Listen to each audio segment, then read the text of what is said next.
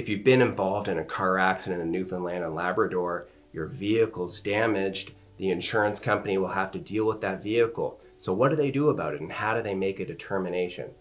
Well, let's talk about it.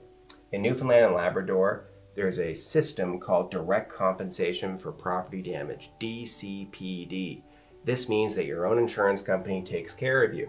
You have to report the damage and the accident to your insurer because they're the ones who are going to be focused on making sure your vehicle gets into a repair shop so that they actually assess whether your vehicle is fully written off, meaning it's not worth it to repair, or the insurance company is going to decide to repair your vehicle. It's their determination about what they do. They insure the car. So you're going to want to make sure you bring the car to the auto repair shop as soon as possible. So many people encounter delays nowadays when it comes to getting the vehicle in. You don't need to pick their shop or the one that they want you to go to.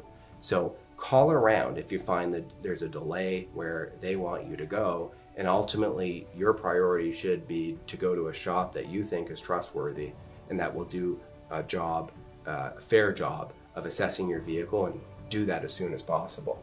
They'll assess what your vehicle uh, damage is that's from the accident and make a report to your insurance company.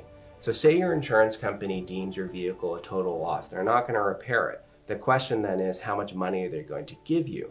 And sometimes the insurance company's valuation of what your vehicle is worth is too low. Perhaps they don't consider the low mileage on your car, or the excellent condition that you kept it in, or the repairs that you went above and beyond to do. They're interested in averages, not your great car. So you need to be armed with evidence and do the job to prove the case. And what my clients are going to to make that case for themselves is through research online. It's easy to do. They're going to Kijiji, Facebook Marketplace, and other auto selling websites where cars are being sold. And it's easy nowadays. You can put in the make model and not just do your year, but similar years, similar models, uh, and provide that information to the car insurance company. And if you can create a little list or a spreadsheet and say, here are five other cars that are worth more you need to increase your offer. Often this will be the difference maker between an unfair and a fair offer. So I suggest you take the hour to do some research and do what you can to increase the property damage adjuster's offer. You don't need to litigate. You just need to put in a little bit of sweat equity to make sure that you get fair value for your car.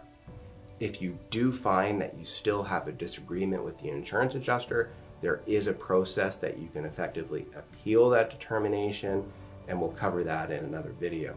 But I suggest that you take the time to search for comparables and then have that discussion with the insurance adjuster and say, here's what I found.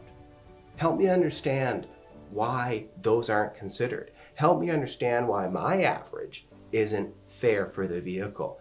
And often that open dialogue will be the difference between making a bad and a good outcome for your car. So you can get the money that you're actually owed and then you can go shopping for a replacement vehicle. I hope this video has been helpful and I wish you all the best dealing with your property damage claim. It can be frustrating, it can take a long time and be tedious, but you want to make sure that you get the fair value for the vehicle because ultimately that's what it's about. You need to get a new car and you should get a car that's reasonable and safe.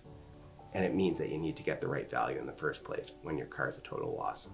Good luck, and if you have any questions about what to do or how to negotiate that claim, just give my office a call. We help people with this all the time, and we're more than happy to help you.